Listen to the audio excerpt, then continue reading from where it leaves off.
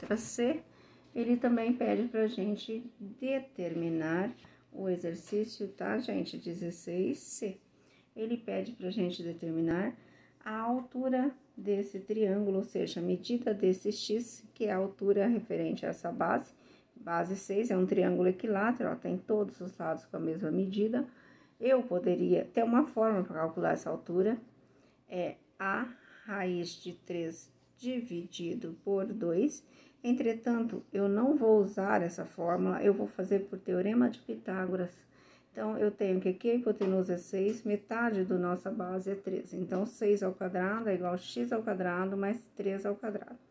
6 vezes 6, 36, igual a x ao quadrado mais 3 ao quadrado, que é 9. É mais 9, operação inversa, menos 9. 36 menos 9, 27 x quadrado é igual a 27, operação inversa de potência, raiz. 27 divide por 3 dá 9, divide por 3 dá 3, divide por 3 dá 1. Juntando de 2 em 2, porque a raiz quadrada, 3 ao quadrado vezes 3. Então, x é igual a raiz quadrada de 3 ao quadrado vezes 3. Quem está ao quadrado sai da raiz, quem não está, ficar. Então, a gente tem que x é 3 raiz de 3. No 17, ele pede para a gente determinar a altura desse triângulo tá? Um triângulo que tem lado 7, 7 base 10. A altura, ele vem aqui no ponto médio, essa altura é chamei de H. E aqui, metade de 10, 5. Então, hipotenusa 7 ao quadrado é igual a 5 ao quadrado, mais o H ao quadrado, que são os catetos ao quadrado.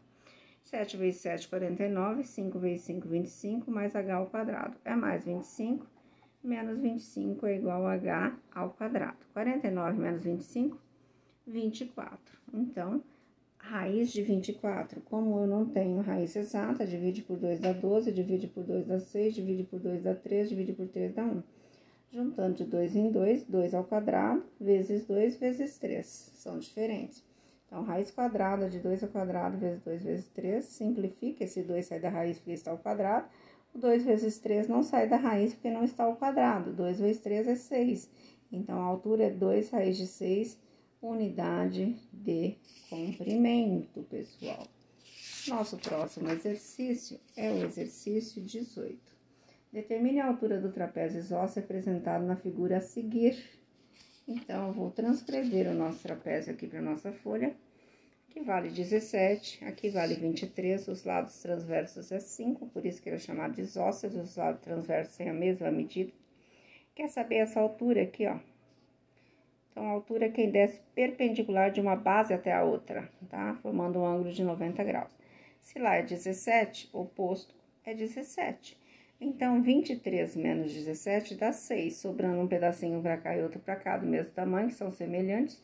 6 dividido por 2 é 13. Então, aqui vai valer 3. O que, que eu tenho? O famoso triângulo pitagórico 3, 4, 5. Você não precisaria nem fazer a conta, mas vou fazer para vocês.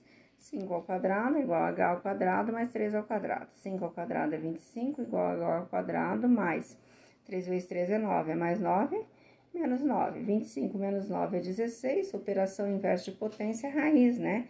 De 16. Então, h ao quadrado é igual a 16, h é igual a raiz quadrada de 16, que é 4 unidades de comprimento. Então, a altura desse trapézio é 4 unidades de comprimento.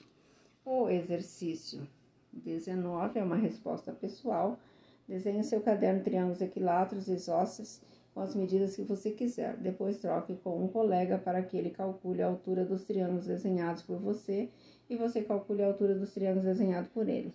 Infelizmente, nós não estamos em sala de aula. Esse exercício vai ficar a critério de cada um de vocês. Bons estudos!